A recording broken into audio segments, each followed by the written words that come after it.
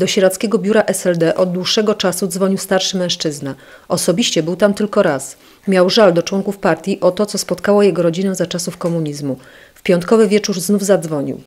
zaatakował człowieka, który odbiera telefon, że słyszał, że tu będzie Napieralski, że on ma pretensje, bo komuniści mu zabili dziadka i on to samo y, zrobi z Napieralskim.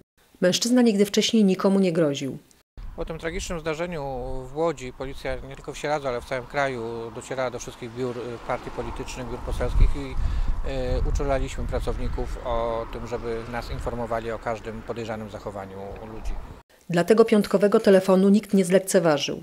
Jeszcze pojawił się jeden element taki troszeczkę przypadkowy. Ja osobiście miałem okazję być w czwartek ten w Łodzi na spotkaniu z przewodniczącym Rady Wojewódzkiej po południu, na którym ustaliliśmy program wizyty Grzegorza Napieralskiego w najbliższym czasie w Sieradzu.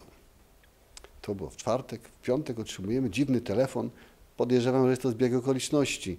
Nawet jeśli rzeczywiście jest to zbieg okoliczności, policjanci przez cały weekend szukali autora telefonu. Dzisiaj w godzinach południowych policjanci Wydziału Kryminalnego zatrzymali 74-letniego mieszkańca Sieradza podejrzewanego o kierowanie gruźb y, wobec jednego z polityków.